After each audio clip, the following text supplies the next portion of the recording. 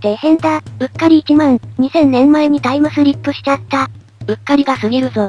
うーん、見渡す限り大自然が続いているね。お、こんなところに集落があるじゃねえか。限界集落も真っ青の人の少なさだ。長老と、男二人女二人子供二人か。まあいいや。他にやることもないし、この超限界集落を発展させていこうか。なんという強引な展開。ほら、長老も私たちに集落の運営を任せたいって顔しているよ。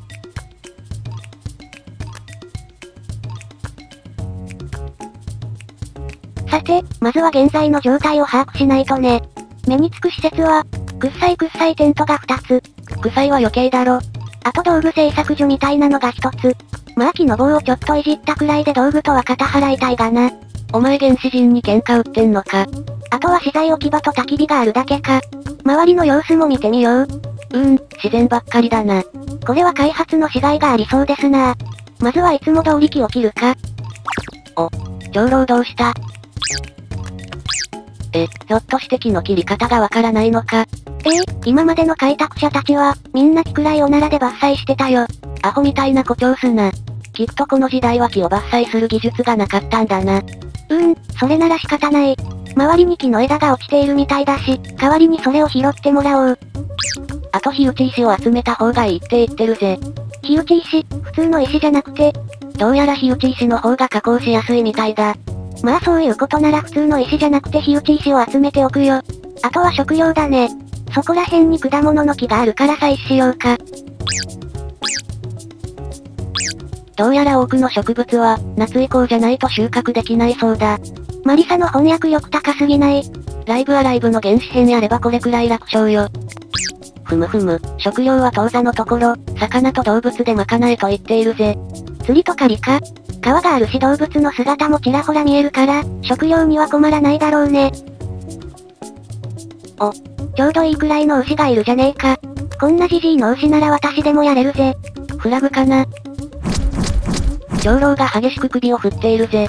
え、なに、やめろってことそのようだな。たかが牛一匹じゃん。そもそもそいつは牛じゃない気がするんだがな。うわぁ、長老の目がやり込み系になったまさかこれは、原始の資格。知っているのか、雷電。余分な情報を極限まで排除し、資源や野生動物の姿だけを浮き彫りにする古代人の技。原始時代の人々は、この原始の資格を使って野生の危険をかわしてきた。技術が発達し、危険と隣り合わせの生活が去ると共に失われた技だが、まさかまだ使い手がいたとは。まあ長老は原始人だし、動物のシルエットもくっきりだけど、なんか色がバラバラだね。古来より赤は危険、黄色は警戒と相場が決まっている。赤い色の動物ほど手を出すと危ないのだろう。こっちには緑のシルエットの動物もいるね。なるほど、長老は緑の動物を狙えと言いたいんだろう。さっきレイムが狙おうとしていたバイソンは黄色、ちと危険な相手だ。緑色の動物は馬や羊といった草食動物みたいだ。大型の草食動物は危険度が中くらい、肉食動物は危険度が高いみたいだな。住民の装備は貧弱だし、仮に参加できる人数も少ない。まずは安全な動物を飼っていこうか。よし、それじゃあ資源集め開始だよ。最初に川を漁場に指定するよ。一滴の排水も混じっていないこの川なら、美味しい魚が取れるに決まっている。漁場は2カ所指定したぜ。食料はこれでよし。次は枝を拾ってもらおう。枝は結構いろんな場所に落ちているな。木が残っていれば枝はまた落ちてくるだろうから、今ある分をどんどん拾っていこう。お、ここにたくさん落ちてんじゃん。枝の最終場所も指定したし、次は火打ち石だな。火打ち石はどこにあるんだろう？お、対岸に火打ち石がたくさん落ちているぜ。ここが一番火打ち石が落ちているね。というわけで火打ち石の最終ポイントに指定するよ。これであとは住人たちが働いてくれるのを待つだけだな。みんな動き出したね。子供も荷物運びくらいは手伝ってくれるみたいだな。お、ここにいるのは、長老、年長者としてみんなのご飯をとっているんだな。しかし長老、そんな木の森で魚取りですか？魚を突き刺すことなんてできるのか？長老は自信があるようだ。まあこの道50年くらいの大ベテランを信じようか。こっちは火打ち石の採集をしているようだな。うわぁ、雨が降っているのに大変だよ。まあ雨くらいにひるんでいたら野生に満ちた環境ではやっていけないだろうぜ。石や鉱物を保管する場所がなかったから作っておくぜ。石を4個置いて、その内側のスペースに鉱物を置くというわけだね。シンプルイズザベストの保管場所だな。枝と火打ち石が集まったから、これを使って色々作っていこう。確か道具製作所があったね。とりあえず石器と木の槍、木の森を1個ずつ作っておこう。どうやら道具は使い続けると摩耗して壊れるみたいだからな。すぐに新しい道具が使えるよう、予備を用意しておくのが大切だぜ。おお、早速道具を作り始めたね丸太に腰掛けて作業しているな。牧歌的な雰囲気だ。こんなのんびり仕事をして給与が出るなんていい時代だな。給与は出ねえよ。まあ住民たちは道具製作に慣れているようだし、ここは彼らに任せるとするぜ。この仕事が終わったら、次はいよいよ狩りの時間だよ。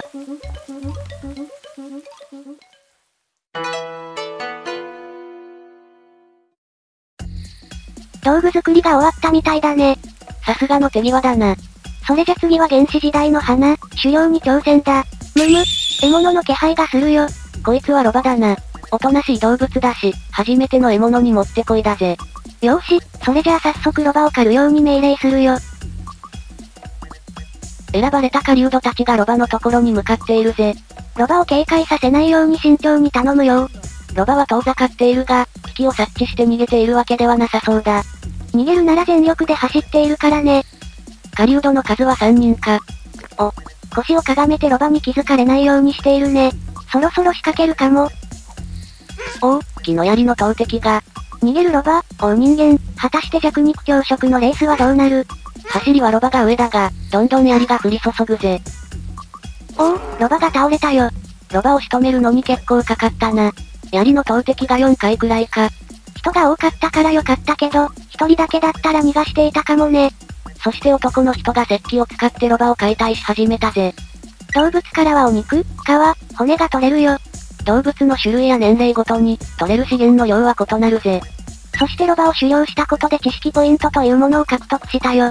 知識ポイントは新しい技術をアンロックするのに必要なポイントだぜ。開拓生活で定番の研究に必要なポイントだね。新しい動物を狩る、新しい施設を作る、同じ資源や道具をたくさん集めるなど、知識ポイントを集める手段は多岐にわたるぜ。じゃあ今はどんどん新しい動物を買った方が良さげだね。ああ、今のところ狩猟が一番手っ取り早く知識ポイントを集める手段になりそうだからな。無理のない範囲で狩猟を続けていこう。先ほどのロバから生皮を手に入れたが、生皮はそのままでは使えない。この皮乾燥機で干して初めて資源として活用できるんだぜ。皮乾燥機、うちの物干し竿の方がまだ立派だよ。まあそう言ってやるな。皮乾燥機に皮を広げておいても乾くのには時間がかかる。どんどん皮を乾かせるように、乾燥機は複数個作っておくぜ。さっきから皮皮うるせえな仕方ねえだろ。とりあえず3つ作っておけば十分だろう。お、っさんが皮乾燥機を組み立てているよ。素材をそのまま活かす建築術だな。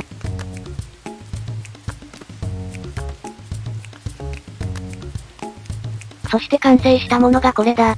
これを一体どう使うというのかまあ実際に皮を乾かすところを見てみよう。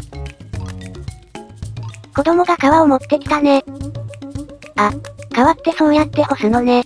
物干し竿みたいに上にかけると思っていたよ。こうやって木の枠の中に皮を張ることで、一つの皮乾燥機につき二つの皮を干すことができるぜ。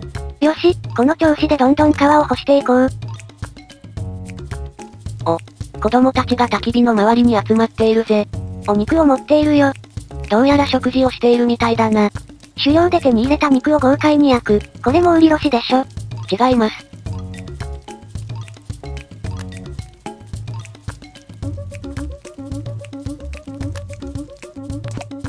生活してたら知識ポイントが溜まったぜ。現在5ポイントだね。5ポイントあれば旧石器時代の技術を一つアンロックできるぜ。いっぱいあるね何を解放すればいいんだろ狩猟道具の強化が魅力的だが、まずは食品乾燥かな。ええー、どうしてそんな地味な技術を？肉や魚を長持ちさせるためだぜ。今はいいが冬場になると、食料が減る可能性が高いからな。食品を乾燥させれば、腐敗しにくくなる。秋までにたくさんの食料を確保して、保存食にすれば冬も安心して乗り越えられるってわけよ。なるほどねというわけで食品乾燥の技術をアンロックしたぜ。新しく食品乾燥機を作れるようになったね。早速組み立てるとするぜ。食品乾燥機を作るには、枝が10本もいるから材料集めをしよう。うーむ、河原に落ちていた枝はもうほとんど取り尽くしたか。あ、マリサ見てよ。お、いきなりどうした？マンモスがいるよ。うお？う本当だ。マンモスを買って漫画肉を食べよう。無茶言うな。こんな化け物に挑んだら死んでしまうわ。見てみろこの佇まい。まさに野生の王の貫禄だぜ。うーん、さすがにこれは手が出せそうにない。マンモスを倒すにはもっといい装備と人手が必要だな。いつか絶対倒してやる。マンモスに気を取られている間に、食品乾燥機がだいぶ形になっていたぜ。運転みたいな形になっているね。上の棒のところに食品を吊るしていくんだろうな。あれ、よく見たらみんな薄着じゃね。夏が来たからな。毛皮の服は暑くて着てられないんだろう。お、魚が吊るされたぜ。なんか鯉みたいな魚がいるねくっそまずそう。おい、この時代は十分な食料を確保するのも大変なんだ。うまいまずいなんて気にできるかよ。厳しい世界やね。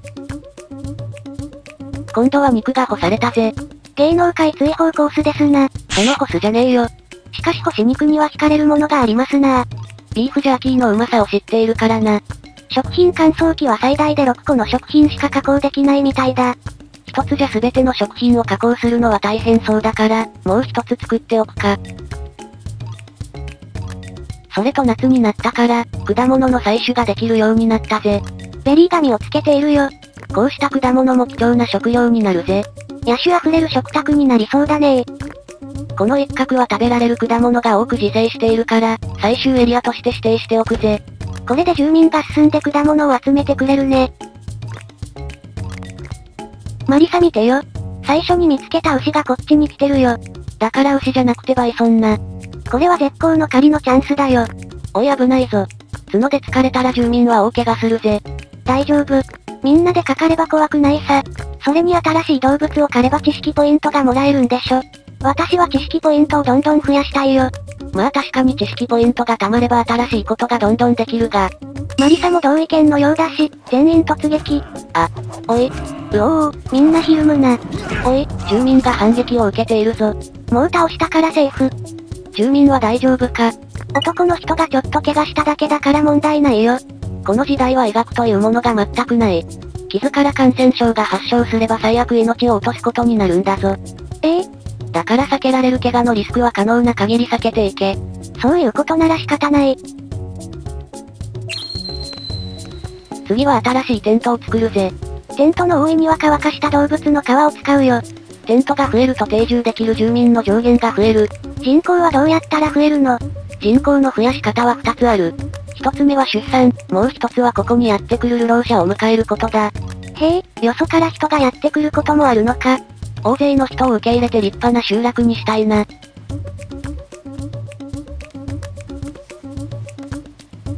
テントが完成したよ。うむ、新しい住居もできたことだし、次の施設を作っていこうか。次に建設するのはこいつだぜ。大きいテントだ。族長用のテントかな。いや、こいつは貯蔵用のテントだ。わかりやすく言えば倉庫だな。木材や石材は地面に直置きでもいいが、他の資材となるとそうもいかない。家の中に資源をしまうこともできるが容量には限界がある。だから貯蔵用のテントを建てて、その中に資源を保管するんだぜ。倉庫がテントってネズミやハエが入り放題になりそう。この時代に機密性なんて求めるなよ。研究ポイントが溜まったから新しい技術を解放するよ。動物を仕留めたことで骨が手に入った。この骨を活用できる技術を取得するぜ。というわけで骨の道具をアンロックしたよ。これで骨の槍と骨の森が作れるようになった。木製の道具よりも効率よく狩猟ができるぜ。早速骨の槍を作ってもらうよ。お、完成したみたいだな。歯と絵が分かれてて立派な槍に見えるね。もっと数を作って他の住民にも持たせよう。装備のアップデートだね。季節は夏から秋になり、倉庫ができて骨の槍も揃った。冬が来る前に食料を備蓄しないとね。骨の槍でどこまでの狩りができるか、このイノシシで試してみるぜ。さっきを消してゆっくり近づくのだ。アイベックスが近づいてきたからこっちから仕留めよう。一斉攻撃とはいえ一瞬で。これが骨の槍の力だぜ。次は本来のターゲットのイノシシを狙うぜ。ああ、川の中に逃げられちゃった。うお、住民たち、イノシシを追わずに手前のトナカイを狙ったか。あ、イノシシがもたついてる。住民たちは川の中に入ったら動きが鈍るってことを知っていたんだね。そして次は隣のロバを狙うのかよ。隙を見せたねロバさん。これで5頭の動物を仕留めたぜ。いやー、大量大量。ここまで効率よく狩りができるとは、骨の槍、恐るべしだな。あ、右の方からトナカイの群れが来てるよ。うちの住民たちはそれを見逃すほどのんびりしてないぜ。すぐさまトナカイに槍を放ったよ。骨の槍があるとはいえ、ものすごい速さでトナカイを仕留めていく。適切な道具さえあれば畜生くらいこの通りですわ。恐ろしいのは骨の槍はまだ初歩的な技術だってことだぜ。ここから人間は、地球覇者の坂道を駆け上がっていくのであった。大量のお肉が手に入ったところで今回はここまで。それでは、ご視聴ありがとうございました。ご視聴ありがとうございました。グッドボタンとチャンネル登録よろしくお願いします。